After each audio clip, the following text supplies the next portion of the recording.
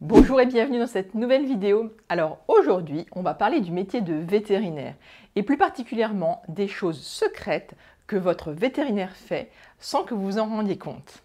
Alors quand on est vétérinaire, on entend très souvent dire votre métier est difficile car eh bien, les animaux ne parlent pas et donc ne peuvent pas vous dire là où ils ont mal. Et c'est totalement vrai.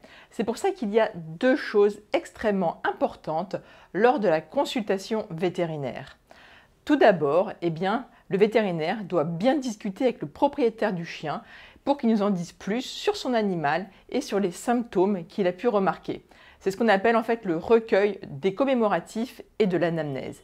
Et puis, deuxième chose extrêmement importante, c'est l'examen clinique. C'est là que votre vétérinaire va recueillir un maximum d'indices en très peu de temps sans que vous vous en rendiez compte. C'est quasiment quelque chose de secret. Je vais donc vous passer en revue une dizaine de choses secrètes que votre vétérinaire fait sans que vous le voyez.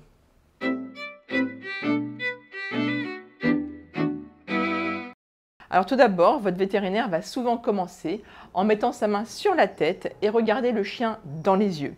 T'as de beaux yeux, tu sais. En fait, cela lui permet de vérifier la cornée, de vérifier qu'il n'y ait pas d'écoulement provenant de l'œil et aussi d'observer le blanc de l'œil pour contrôler que celui-ci est bien, est bien blanc. Si le blanc de l'œil est jaune, ce n'est pas normal, c'est ce qu'on appelle un ictère et cela peut traduire un problème avec le foie. Ensuite, le vétérinaire regarde la couleur de la muqueuse, si elle est bien rose et pas trop rouge, ou bien pas trop pâle. Il va continuer de vérifier la couleur de la muqueuse au niveau de la gencive et va appuyer dessus. Elle va devenir blanche parce que ça fait partir le sang des vaisseaux sanguins juste en dessous. Puis il va regarder en combien de temps la muqueuse reprend sa couleur normale. C'est ce qu'on appelle le temps de recoloration capillaire ou TRC. Cela donne une idée de la circulation sanguine. Ensuite, votre vétérinaire va caresser le dos de votre chien. Non, il n'est pas juste en train de le papouiller, mais cela lui permet d'évaluer le pelage et aussi d'évaluer l'état d'hydratation du toutou en soulevant un pli de peau.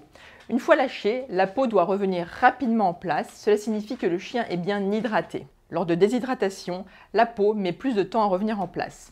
Le veto continue ensuite de papouiller le chien un peu partout, mais ce ne sont toujours pas des papouilles. C'est le moment de palper des endroits stratégiques à la recherche de gros ganglions, de gros nœuds lymphatiques, comme par exemple sur le poitrail, sous les aisselles, dans le pli de laine ou dans le creux du genou.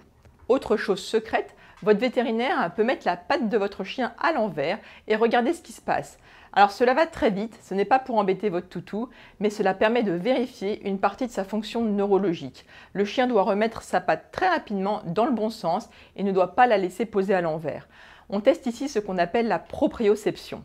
Alors en quelques gestes et en quelques secondes, et avant même d'avoir pris son stéthoscope ou le thermomètre ou d'autres instruments, votre vétérinaire a déjà récolté des indices cruciaux concernant votre chien sur sa circulation sanguine, son foie, son état d'hydratation, son statut neurologique, ses nœuds lymphatiques, les ganglions, etc. Cela l'aidera à établir le diagnostic et à orienter les examens complémentaires si nécessaire. Toutes ces étapes, inspection, palpation, percussion, cela représente la base de l'art du vétérinaire. Votre vétérinaire est vraiment le spécialiste pour vos animaux en cas de soucis de santé. C'est lui qui permettra à vos chiens ou à vos chats de guérir le plus vite possible. Donc en cas de soucis, oubliez les réseaux sociaux et foncez chez le veto. Voilà, c'est la fin de cette vidéo. J'espère qu'elle vous a plu. Si c'est le cas, comme d'habitude, likez-la et abonnez-vous à la chaîne DirectVet pour ne pas rater les prochaines vidéos, conseils vétérinaires ou démonstrations de produits. En attendant la prochaine vidéo, je vous propose deux cadeaux. Donc soit de télécharger gratuitement mon manuel des premiers secours, l'adresse s'inscrit juste en dessous, soit de vous inscrire à la formation éducation bienveillante starter pour ceux qui ont un chien et qui veulent faire leur premier pas dans les techniques d'éducation canine bienveillante. Voilà, je vous dis à très bientôt et en attendant n'oubliez pas, les animaux sont notre équilibre, alors protégeons-les. Ciao